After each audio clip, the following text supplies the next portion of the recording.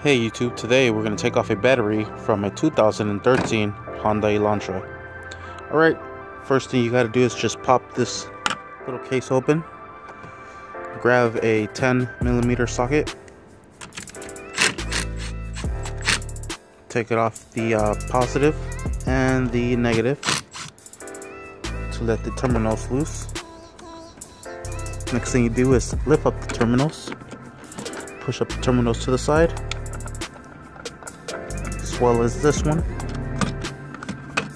You might need two hands. Alright, next thing we gotta do is remove the battery bracket that's down here.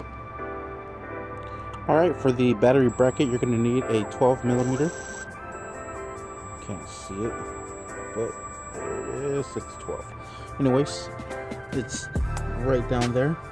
So let's go ahead and remove that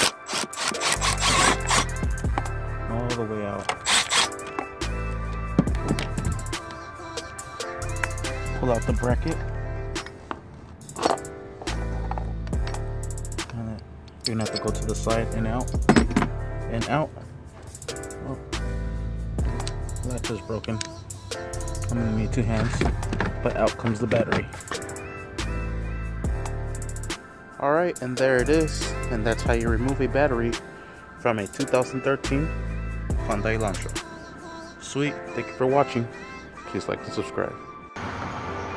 Don't forget to hit that bell. All right, let's get out of here before we get kicked out.